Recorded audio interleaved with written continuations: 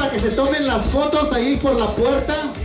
Tómense las fotos, las voy a editar y se las voy a mandar a Stacy. Si se toman las fotos, después yo las voy a editar y se las voy a mandar a Stacy para que tengan una foto de recuerdo. Van a estar ahí 10.